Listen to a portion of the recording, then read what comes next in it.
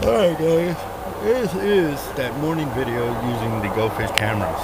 I'm setting up to put the night light on because it's early in the morning, the sun's still not up yet, and you know, learn to see what it can do for us now that I've added on more of the float on it.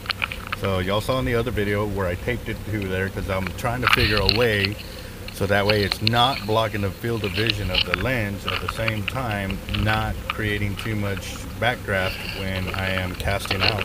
So yep let's go ahead and get this out.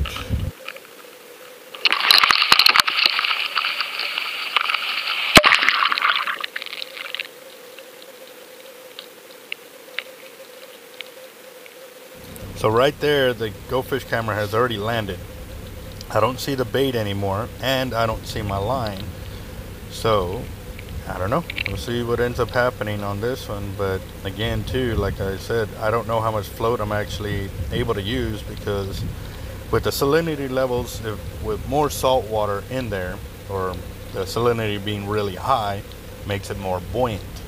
So trying to replicate this at the house is a little difficult but I'm going to keep this same float device like this and I'm going to try it in different areas. I know here in the Laguna Madre where we are fishing and where this pier is located there's a very high salinity level and they say it's almost near impossible to drown there because of the amount of uh, salinity that's in there.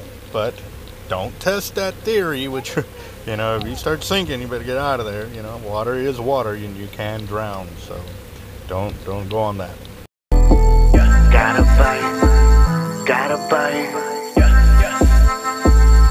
I think I gotta Got a lot of stress on my mind. It's a nice day to go. Yeah, I gotta line. I'ma call up the whole team.